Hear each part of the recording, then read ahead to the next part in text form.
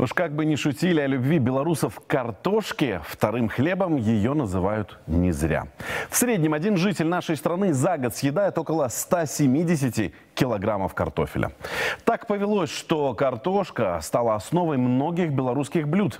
Неизменным лидером в списке были и остаются драники. Далее любовью и популярностью пользуются такие блюда, как колдуны, картофельная бабка и, конечно, пюре.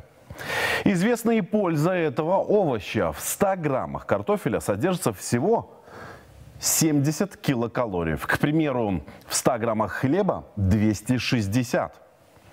Клубни практически не содержат жиров, они являются хорошим источником клетчатки, белков, витаминов и калия.